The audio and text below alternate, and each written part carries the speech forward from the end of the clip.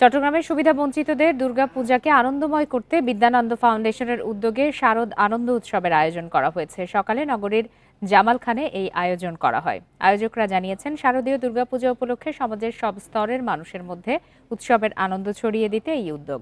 ফলে কেটে খাওয়া খেটে খাওয়া মানুষ এক টাকায় নিজের পছন্দ মতো পোশাক ও ভোগ্যপণ্য কিনতে পারছেন। এছাড়া বাজার করতে আসা সব ক্রেতাদের মিষ্টি দিয়ে আপ্যায়ন করা হচ্ছে।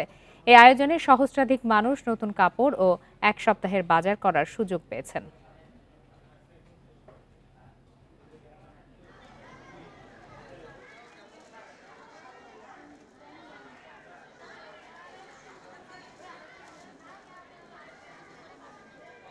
এই ধরনের এসি কমিউনিটি সেন্টার এই ধরনের সুপার শপের এই ধরনের ফিল্ডগুলো কিন্তু তারা সুবিধা বঞ্চিত মানুষজন পায় না।